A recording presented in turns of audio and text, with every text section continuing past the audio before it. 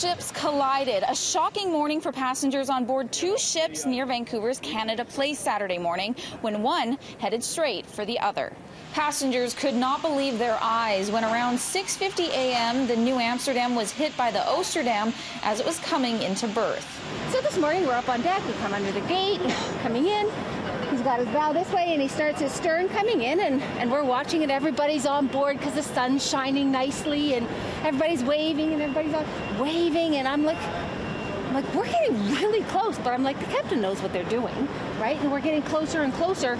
And all of a sudden you saw the people on the fourth deck and on the third deck, like literally dive back into their cabins.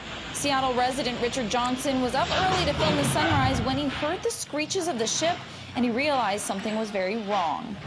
Seen a lot of things. Last year we were in 80 mile an hour winds, and uh, this was this was totally different.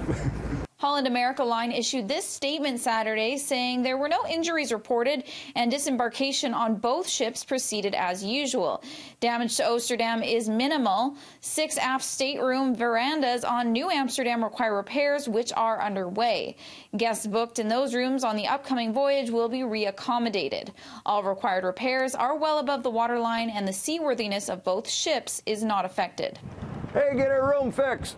Derby Shire, along with his family, were set to move into two of the now heavily damaged rooms.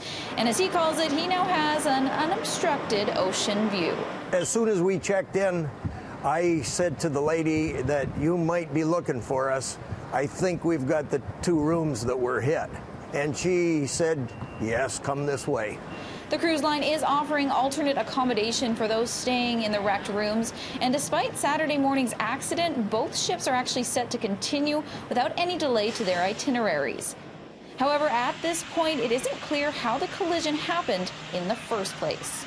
We're, we're sailors, so my husband always says, you're only as good as your last docking. I'm not sure if it was our captain or if it was the pilot that was in charge, but they didn't even know on the bridge, talking to some of them, they didn't even know that we had hit the other ship.